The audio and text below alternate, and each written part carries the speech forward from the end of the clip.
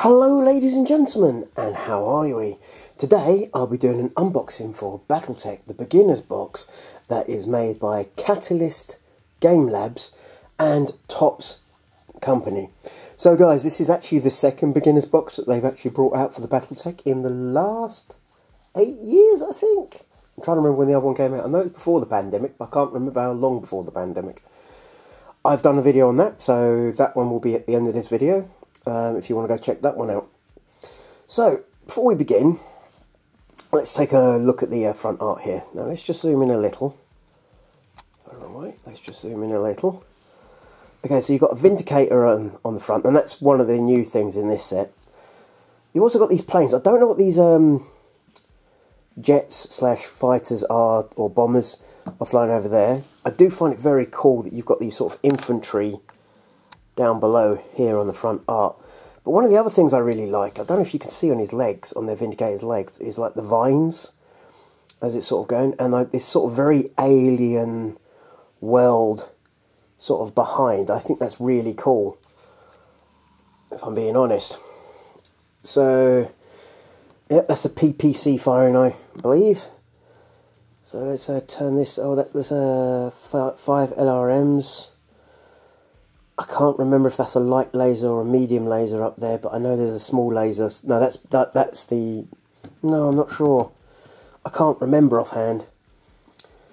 Anyway, so let's turn it over. Let's have a look at the back of the box. It's not a very thick box. You can tell my hands aren't the biggest in the world, and so you can tell this isn't a, very big, fat sort of box. But at the same time, it is the uh, beginner set, so you don't get as much in this as you do the other armoured core set or even what's coming out soon, the uh, Alpha Strike box, which is another one I'm hoping to do at some point. Let's zoom in. Let's try and move this over here. Okay, so let's read this, guys. The comline abuzz with pre-battle orders. The pounding rhythm of the metal titan on the prowl.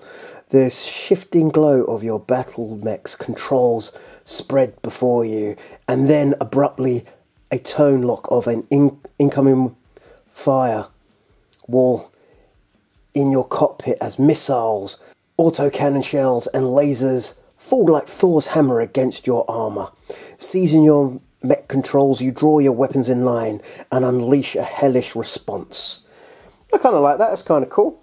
Okay, so let's just sort of like, again, zoom in just a little. So the two mechs, you I'm going to bring them out in a second, but the two mechs you do get in this set are the uh, Vindicator, which is the new one, instead of a Wolverine, which was in the original set, and the uh, Griffin. So now I have two Griffins. Okay, but you also get some other stuff inside here. But again, let's uh, show you what it says it has inside. Content is here. Two, uh, two high quality, fully assembled, two quality fully assembled, unpainted miniatures. 18 by 22 full colour game map, both sides. Die cut mech and terrain tokens, okay. Quick start rules, universal booklet, a 24 fiction novel, uh, record sheets, mech warrior cards, record sheet. Oh yeah, I know what that's them ones they're talking about. Uh, and six sided dice. I was hoping it was the normal record sheets that you got in the uh, core box. Um, Okay, so let's open this, this up for a minute, guys. Let's take a look on the inside. Okay, so there's your novel, The Golden Rule. That looks like a commando there to me. Um, let's have a quick look. So, so many pages it actually is. Well, you've got a couple of things on the back there. That's just a like talks about the different weapons. Then you also get yourself some recording sheets. Now these aren't... This is just for the beginner's rules, guys, because you don't have the structure. You don't seem to have how many times you shoot with certain weapons. Oh, you see those shots there. So let's just get this first one out. And let's uh, talk about it just a little. So here is the uh, mech data. So this one would only walk, uh, its walking speed is 8. Its running speed is 12. Its tonnage is only 20. It's a cost as a light mech. It's based in the inner sphere. You also have what would be the uh, gunnery skill. Now, if you were playing the normal rules, you would have pilot skill as well. And if you had a Clanger mech, um, mech warrior, he would actually have a 3 instead of a 4 for gunnery. There is your hit locations, so different rolls for where you would hit with a two-sided dice. And then you would work out hit on this side where you've been hit. So these are also the weapons, which is the uh, medium laser and two machine guns, would be in the centre torso, right arm and left arm. It has 200 shots. That's the first variant. So you turn over to the other side, it gives you a nice little description about the Locust. Sort of like what top speeds and stuff like that. Then you go to this one here, and that's the uh, Locust E um, Locust 1E. Again, it's, it's got the same movement. Armour looks about the same, except for this one has uh, different weapons on it. This one has no central torso weapon, which the other one does, but it has all its weapons on its arm, which is uh, basically one medium laser and a small laser in each arm. Again, everything's sort of the same. So you turn this over this side, there's nothing on there except for some lovely artwork, I do have to say. So then you've got the Vindicator. Now this is the variant I know, mostly because of Battletech, the computer game. Um, I've never used it because I've never had the model. So again, this one, you can see it's a lot slower. It's 25 tons heavier. Still the second lightest um, mech in this um, box. But, according to this, for this starter set, this person has a skill of 3 plus for shooting. So, yeah. So this one has a uh, small laser in the left arm, a P PPC in the right arm, um, LRM5 in the centre torso, and medium lasers. It also has jumps, so th this one can actually jump four, so yeah. Then again, you've got a different variant, so you take out the PPC and replace it with a large laser, and you also take out the uh, five missiles in the chest uh, LRMs in the left torso and replace it with a 10. Again, I believe the armour is the same and the uh, gunnery skill is still 3. That's quite good, actually. So, not a mech I've really used, even though it is a 55 tonner. It is actually slightly faster than the uh, Vindicator, but for this set, it has got worse uh, gunnery skill. But this variant has uh, LRR M10 in its uh, right torso, and in its right arm it has a PPC. So it doesn't have as much offensive capability as the other one, but it is faster.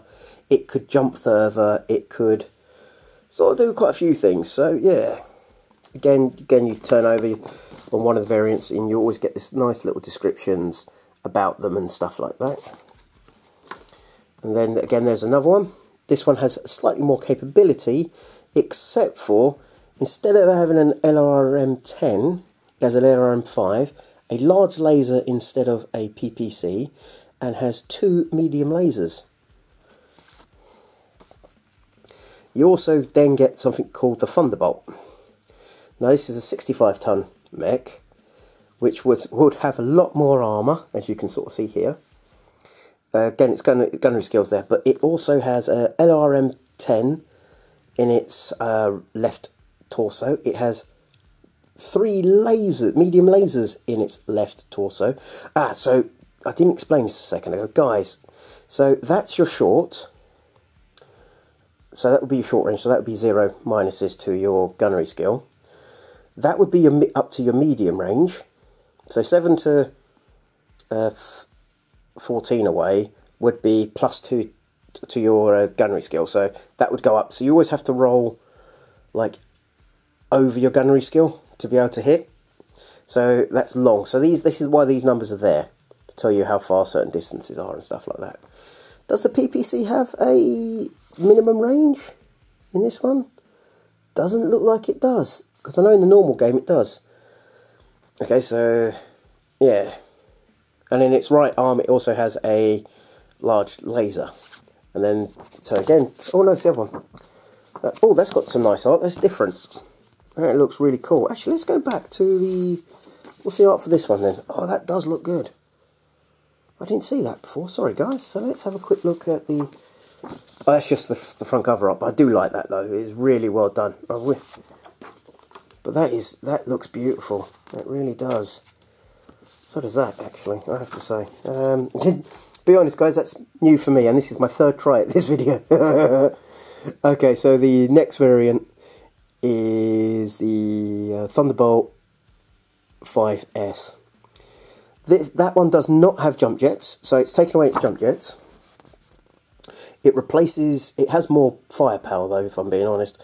It has LRM 15 in its right torso. It has a short range missiles or SRM 2 in the uh, right torso. In its left torso, it still has the three lasers, as the other variant does. Its right arm is still a large laser, but on its left arm it has two machine guns now. So this one definitely could do a lot more damage, but it is, um, unfortunately, has lost its jump jets, which I, I have to say, sometimes jump jets have been really, really useful. Okay, so you also get two, two dice. You also get these pilot cards. Now, I'm not going to go through everything on them. I'm not 100% sure how they work, so I don't want to say, yes, this is how things are. But, with the pilot cards, this is your pilotry skill. That is your um, gunnery skills. But again, I'm not sure how pilot cards work, because they don't have like a value on them to say this is what it uh, should be and stuff like that.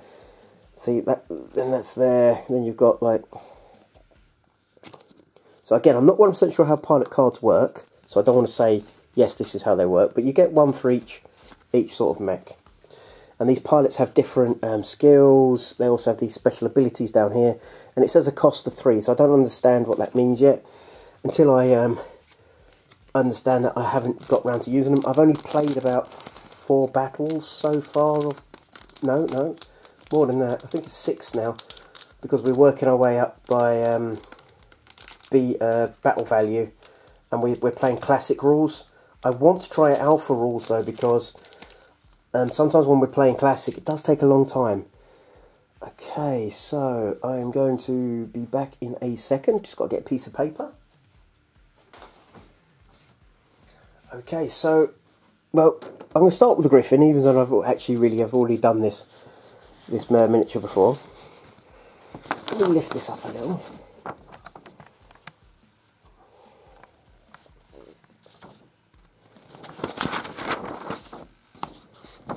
Okay, so yeah, I do like like the look of this mech. I do. I have to say, I do like what they've done with the models. I know there's some people that prefer the 3D printed ones that you can get. I do agree with some of them on that, but at the same time, I do like what you can buy. And for myself, that's so much more easier, and I don't, you know, I don't have to spend a load of money on buying myself a printer in the first place. So I don't mind the look of this uh, sort of mech. Let me just zoom in a little, see if I can helps a little, yeah. So yeah, I, I do have to say I do like the look of it. Nice little details, certain areas.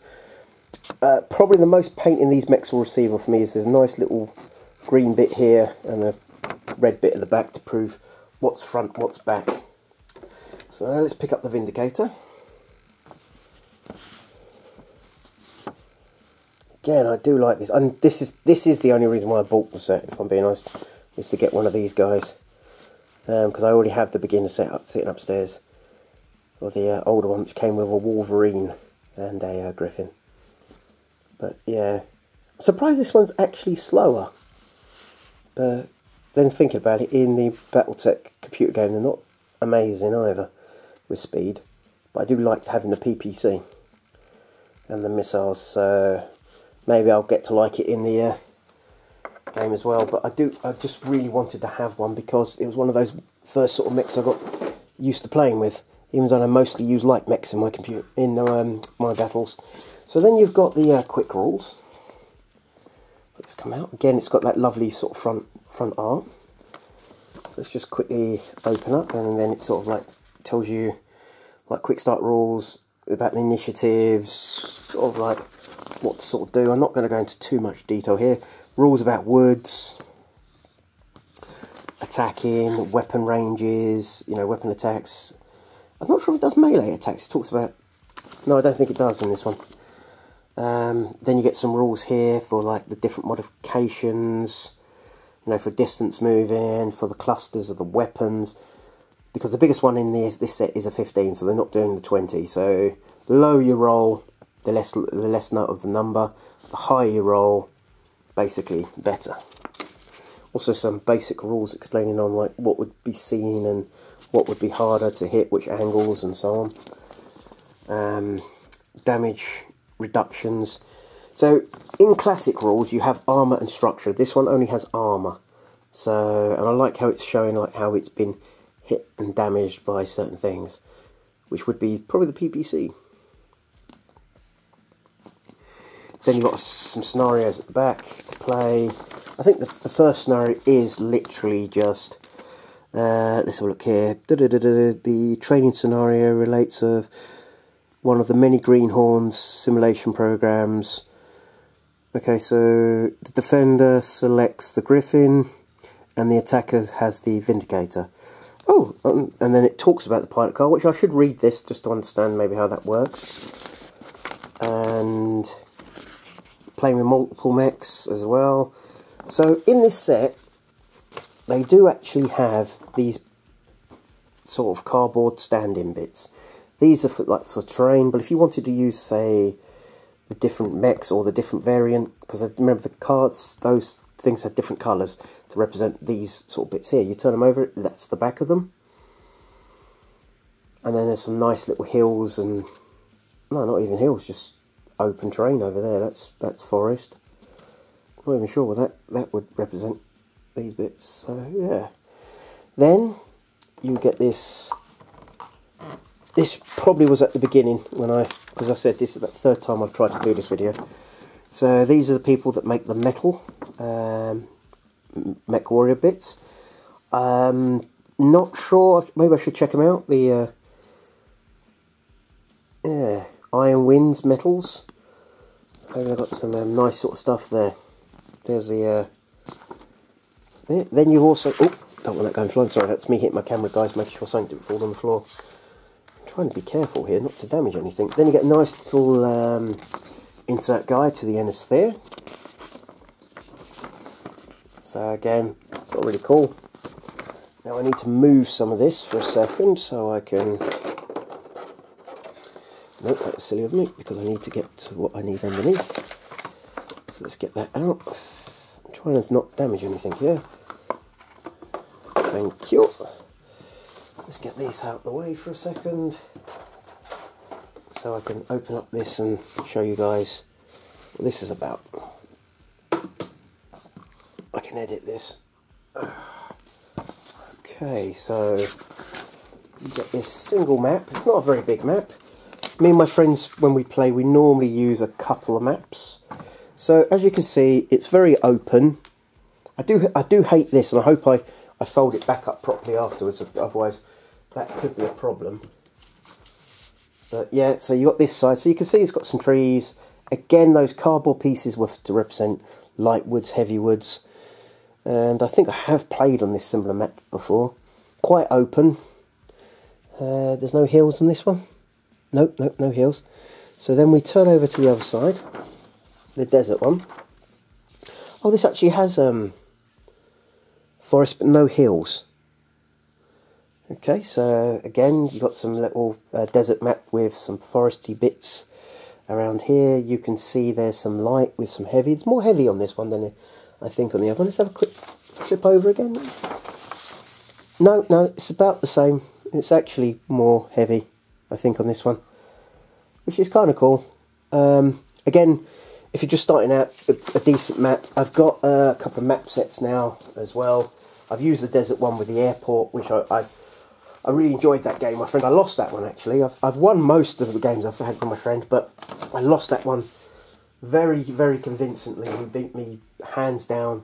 I have to admit, the game I had before with him before, I won with a bit of luck because of um, I managed to cause his Clint to have a critical critical hit against an ammo ammo bit and that just blew it up. So that was kind of interesting at the time. Anyway, guys, that's the unboxing of the starter set. Uh, I have to say, I'm looking forward to at some point use the Vindicator. Um, just because it's something I haven't got around to using in the game yet, for a start. And But I want to start using some clan mechs, because I haven't used them, and I own all the sets they've released so far, so... I do want to start using them. I was hoping to have a game this week, but unfortunately my friend was um, uh, well, basically real life kind of gets in the way, and being this close to Christmas, he has to, you know, other days he has to work. So hopefully in the new year I'll get a game in. Anyway, gents, I've been rabbiting too long. Um, I hope you've enjoyed this video. If you have, please click like. If you'd like to subscribe, please do. If you'd like to hit the notifications, again, please do. I don't do as many videos as I once did. That's generally because life gets in the way. But again, let me know in the comments. Let me know how you guys are. It's uh, good to get a video done. Unfortunately, it's only going to be one tonight. I was hoping to do a couple, but time is against me now, unfortunately, and other things. But yes, hopefully I can get another couple done during this week. But yes, that's the this one done. Anyway, guys, see you later. I hope you're all well. And again, just click that like button if you like it. Tell me in the comments uh, if you play Battletech, what uh, you prefer playing between Alpha Strike and Classic Rules. And yes, anyway guys, see you later. Bye.